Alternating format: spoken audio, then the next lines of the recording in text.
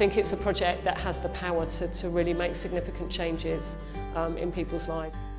My study was stopped by my parents in 2011. When I attended this club, my parents saw my confidence and let me study.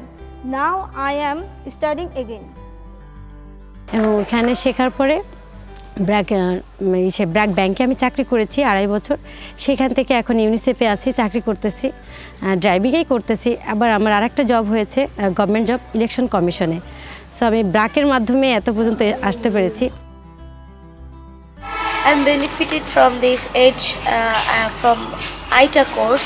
I get chance at university in good subject. Actually, I have uh, so many achievement.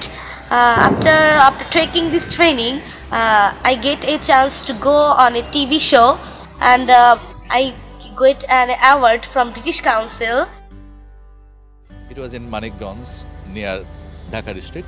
Two sisters, they were very good in English, even in ICT. And after finishing this training, six months training, and she got a chance to go to Bangkok with Fazle Hasan Abed as the representative of Bangladesh. And she got delivered a speech of 15 or 20 minutes, and everything she did in English.